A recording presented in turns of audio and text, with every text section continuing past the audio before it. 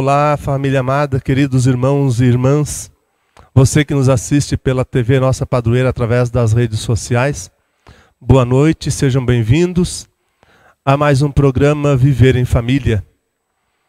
Iniciemos fazendo a nossa oração em nome do Pai, do Filho e do Espírito Santo. Amém. Pai nosso que estais no céu, santificado seja o vosso nome.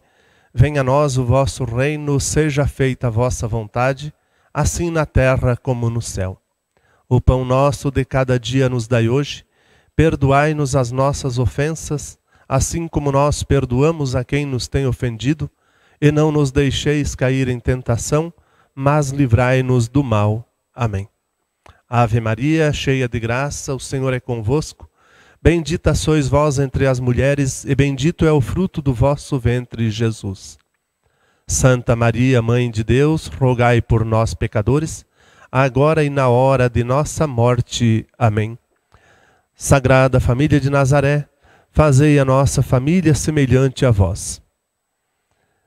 Queridos irmãos, querida família, hoje nós vamos falar sobre o ritual do matrimônio.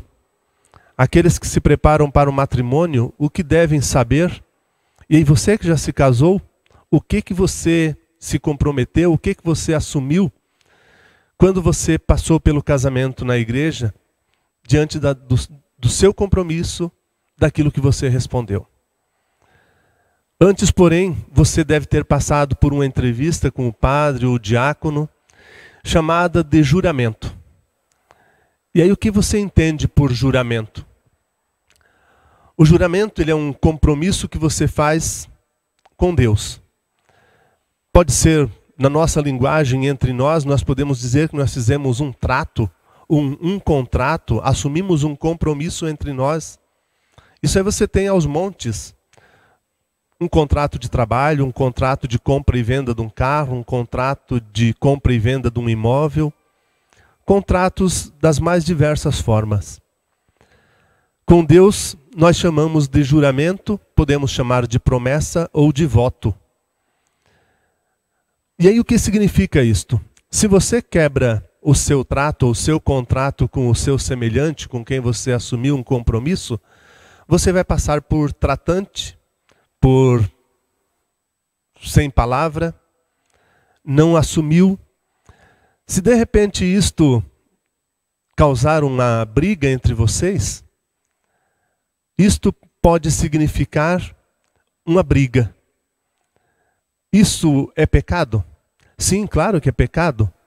É um pecado grave? Não, não chega a ser tão grave. Mas é um pecado por quê? Qualquer pai que tem mais, de dois, é, mais do que um filho, tem dois filhos ou mais, se eles brigam entre si, os pais acabam ficando chateados com essa briga. Com Deus não é diferente.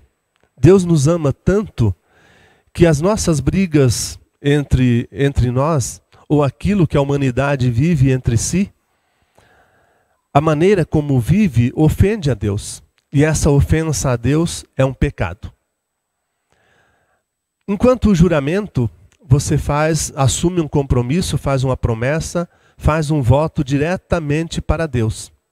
Aí se você quebra esse compromisso, você comete um pecado chamado perjúrio, e é um pecado grave, é um pecado gravíssimo porque você ofende direto a pessoa com quem você havia tido um trato, que é Deus. E o que significa o pecado na nossa vida? Vamos fazer uma imagem para nós, visualizarmos entre nós, na, na nossa imaginação, uma jarra com água, um copo e um monte de pedras. A água significa a graça de Deus. O copo significa eu, significa você, você.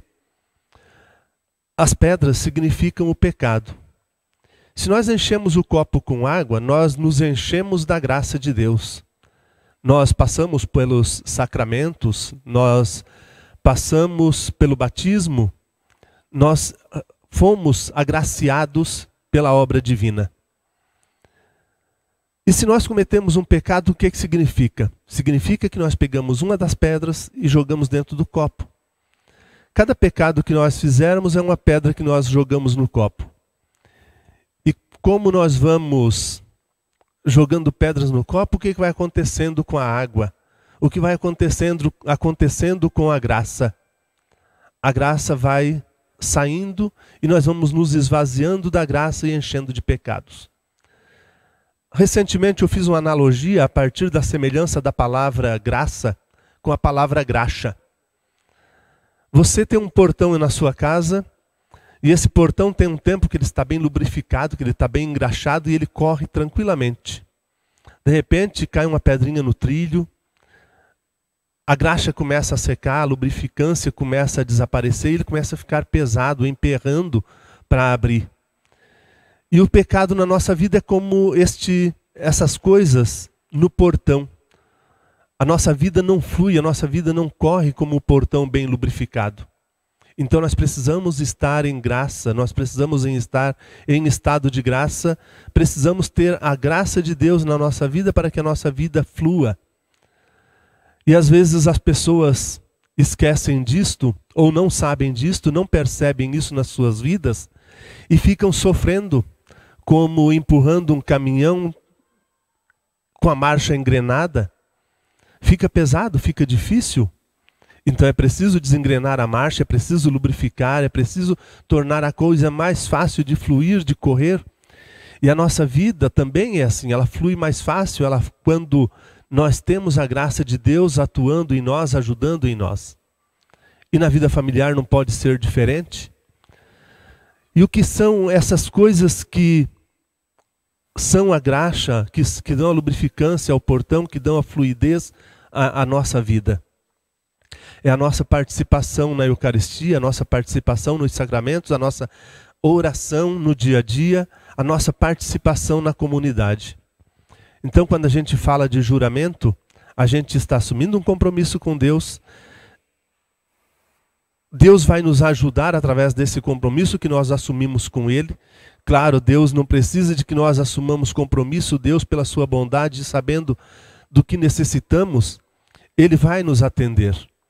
Mas a partir do momento que nós procuramos viver bem aquilo que nós planejamos, aquilo que nós nos comprometemos, a graça de Deus ela é mais atuante na nossa vida.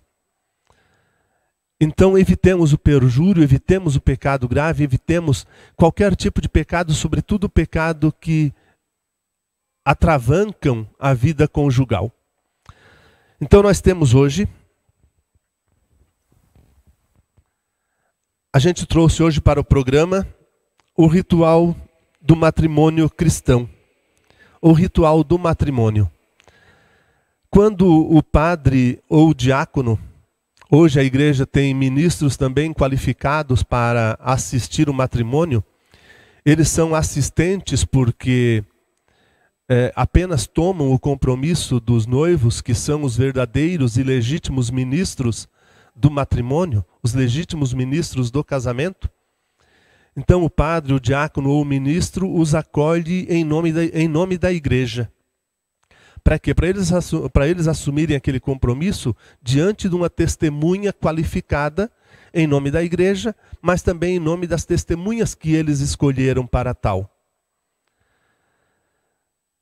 Feita a acolhida, então o padre, o diácono, o ministro faz uma oração inicial uma breve alocução, assim chamada, dentro do ritual, acolhendo o casal de noivos e acolhendo os participantes, os familiares, os convidados, mas esses todos constituem a igreja dentro da celebração do matrimônio. O casamento ele deve ser celebrado numa igreja, numa capela. O casamento, para ser válido, ele tem que ser celebrado nessas condições. Ele não pode, o padre, o diácono, eles não podem ir numa chácara, num, no local que você deseja que fosse o casamento. Para esse momento você pega o casamento civil, pegue um juiz de paz. Se você quer ter apenas uma filmagem, as imagens, pegue alguém que faça essa simulação para você. Mas a partir do momento que você vem para a igreja ou deseja a figura do ministro, uma testemunha qualificada, tem que ser nas, nessas condições. Aí nós vamos para a liturgia da palavra. E nesse momento, em liturgia da palavra, eu também quero aproveitar para ler um trecho do Evangelho de São Mateus, e que ele é, é, é de certa forma também um apresentador da imagem do casal. Naquele tempo, disse Jesus a seus discípulos: Vós sois o sal da terra. Ora, se o sal se tornar insosso, com que salgaremos? Ele não servirá para mais nada, senão para ser jogado fora e ser pisado pelos homens. Vós sois a luz do mundo. Não pode, não pode ficar escondida uma cidade construída sobre um monte. Ninguém acende uma lâmpada e a coloca debaixo de uma vasilha, mas sim num candeeiro, onde ela brilha para todos os que estão em casa. Assim também brilhe vossa luz diante dos homens, para que vejam as, as vossas boas obras e louvem o vosso Pai que está nos céus. Palavra da salvação. Glória a vós, Senhor.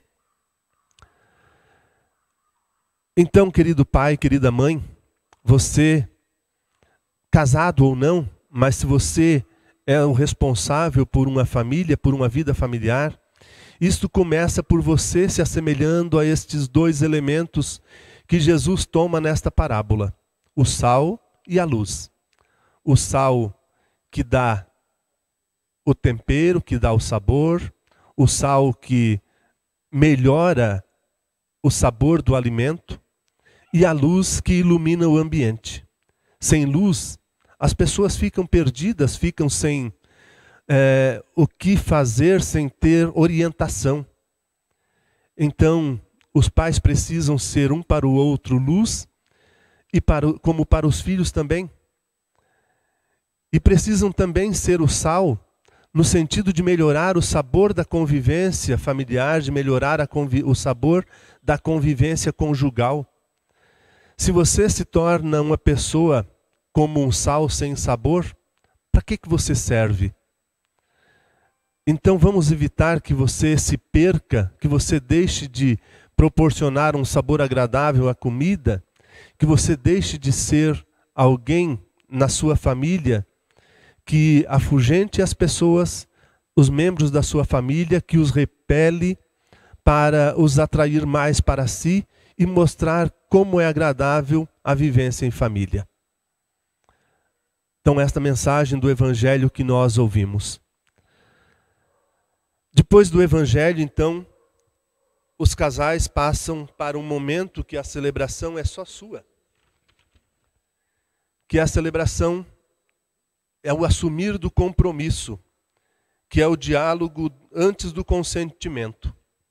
E aí então o padre ou o diácono fala da consagração do casal pelo batismo e os chama para o consentimento.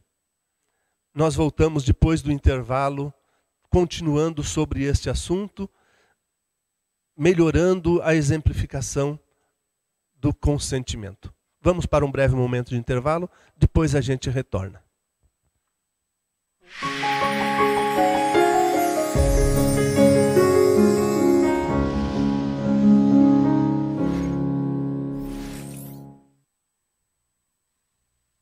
Você já conhece o aplicativo da nossa paróquia? Com ele, você tem acesso a diversas informações paroquiais, como o horário das missas, eventos, fotos e vídeos, liturgia diária, fica sabendo um pouquinho sobre as pastorais, movimentos, grupos e comunidades da nossa paróquia. Você também consegue acompanhar toda a programação da Web TV Nossa Padroeira, tem mensagens do nosso pároco e ainda fica por dentro das nossas redes sociais. O aplicativo da nossa paróquia está disponível para os sistemas Android e iOS com download gratuito. Basta você procurar na loja de aplicativos como Paróquia Nossa Senhora Aparecida, Xingu Lembre-se que a palavra Xingu é essencial para encontrá-lo e fazer o download gratuito. Não deixe de acompanhar as nossas redes sociais e baixe o nosso app.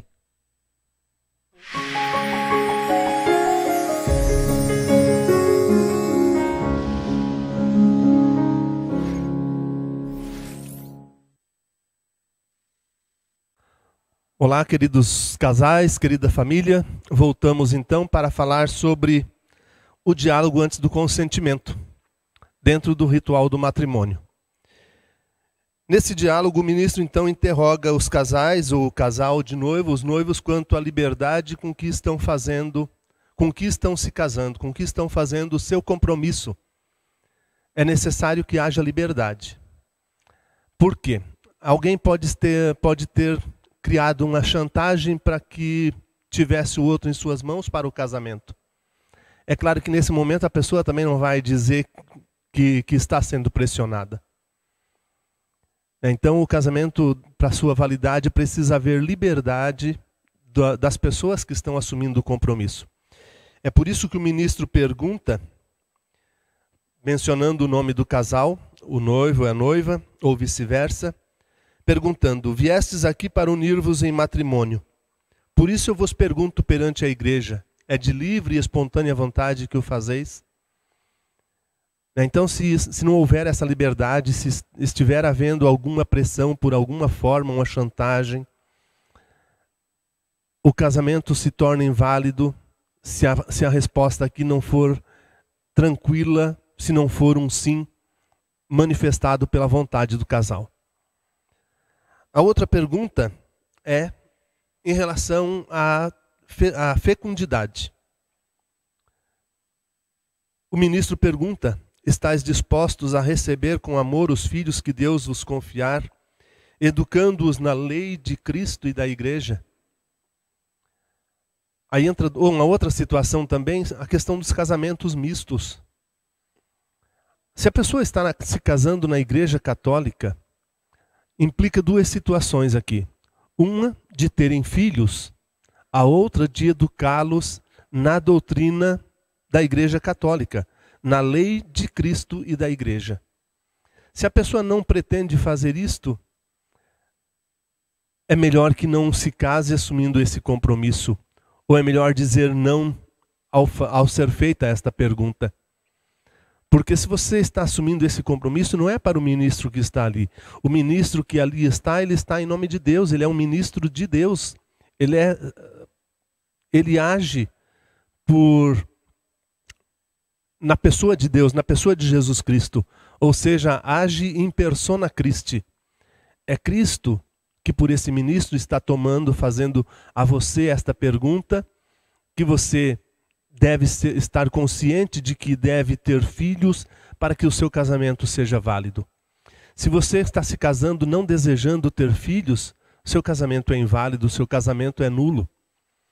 E a outra situação, claro, educando-os na lei de Cristo e da igreja. E a outra pergunta está vinculada à fidelidade. E a pergunta é: abraçando o matrimônio, ides prometer amor e fidelidade um ao outro, é por toda a vida que o prometeis? Se você está pensando que depois do casamento você se cansa do seu esposo, você se cansa da sua mulher, você vai arrumar outro, arrumar outra, você não está com boa intenção. A sua resposta, o seu sim, estará sendo mentiroso. Você quer se passar depois por um mentiroso? E não é nem diante do ministro, aliás, não é nem diante da pessoa que ali está tomando isso de você. É aquilo que a gente disse, o ministro que ali está age em persona Christi. Você está mentindo para Jesus Cristo. Você está mentindo para Deus. Se você der seu sim aqui, que o seu sim seja sim, e que seu não seja não. Você pode até não suportar a tentação, a tentação ser mais forte que você, você ser mais fraco. Você quer passar-se por um fraco, uma fraca? Então você tem que superar a tentação da traição, a tentação de experimentar, ter uma experiência com outra pessoa. Isso é aquilo que nós chamamos de adultério. É claro que o adultério se estende a uma outra situação quando você é, separa da sua esposa, separa do seu esposo e assume uma nova união matrimonial, um novo compromisso conjugal. Por quê? Porque você esqueceu desse compromisso ou porque vocês, no tempo de namoro, não tiveram conhecimento suficiente um do outro para experimentar a compatibilidade ou porque não olharam bem um para o outro para perceber se aquela pessoa, ou para se perguntar como será essa pessoa daqui 5, 10, 15, 20 anos. No momento que você casa, a pessoa pode ter o padrão de beleza que você deseja, mas e depois desse tempo? Qual será a beleza que ela vai trazer para você continuar desejando-a, para que você continue querendo esta pessoa, para que você deseje continuar com ela? Ou você vai dizer que ela está, que a sua mulher virou uma baranga e vai procurar outra mais bonita? vai procurar outra mais jovem, vai trocar a sua por duas de 15, duas de 20. Então você precisa estar consciente do compromisso que você está assumindo. Você não está ali para uma brincadeira, para um faz de conta. E aí nós entramos num outro passo que é o consentimento. E aqui entra um gesto que a gente é, às vezes brinca, o sentido de dar a mão direita um ao outro, no sentido de estar selando um negócio, fechando um compromisso, negócio fechado. É isso que eu estou assumindo. E aí então a pessoa vai dizer, isso pode ser em forma de diálogo, o ministro perguntando ou a pessoa dizendo diretamente. O que importa é que ela esteja consciente do que ela está dizendo. Eu menciono, cito o meu nome, te recebo, cito o nome da pessoa que eu estou recebendo, por minha esposa, e te prometo ser fiel amar-te e respeitar-te, na alegria e na tristeza, na saúde e na doença, todos os dias da nossa vida. Aí a gente está cheio de experiências por aí de pessoas que a promessa parece que foi esquecida de que era na alegria e na tristeza, na saúde e na doença, e que era todos os dias da vida. A pessoa pensa que se casou pra, com aquela pessoa para ser feliz com ela enquanto ela tivesse saúde, enquanto ela pudesse fazê-lo feliz, enquanto ela fosse uma pessoa contente, fosse uma pessoa feliz. Não esquece que a pessoa está sujeita a tristezas, que está sujeita a questões de saúde. Às vezes essa experiência é amarga, é, é amarga, é trágica. Nós poderíamos contar uma história aqui, mas ela é um pouco longa, para exemplificar esta ideia da alegria e tristeza, saúde e doença. A mesma coisa a esposa ou a noiva vai dizer para o noivo, para aquele que será o seu marido. E a gente então também sabe de histórias de, de pessoas, de mulheres que se casaram e depois, por algum problema, aquela pessoa ficou deficiente, ficou doente, chegou a uma, uma outra situação, vamos colocar uma situação do ponto de vista da sexualidade também. A pessoa pode tornar-se impotente, tornar-se estéril. Como é que fica essa situação depois? Isso não é levado em conta? Isso também é levado em conta dentro desse diálogo, dentro desse compromisso assumido.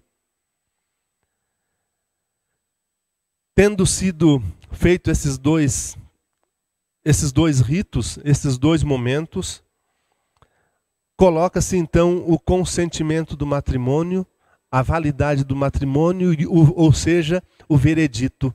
E aí então o ministro diz: Deus confirme este compromisso que manifestastes perante a igreja. Igreja aqui não é uma instituição terrena, não é como um, um clube, não é como uma sociedade, não é como o país. A igreja ela é divina, ela é santa. A igreja que nós é constituída por mim, por você, pelas pessoas que estão dentro da igreja naquele momento, ela também é constituída pelos santos, por Nossa Senhora, por Deus, o Pai, o Filho e o Espírito Santo. Então você não pode estar brincando com com a igreja como se a igreja fosse apenas uma instituição e que você pode enganar. Então, esta é a parte principal do matrimônio, é aquilo que define o, sacramento, o, o, o casamento como sacramento, como tendo sido o casal estando casado.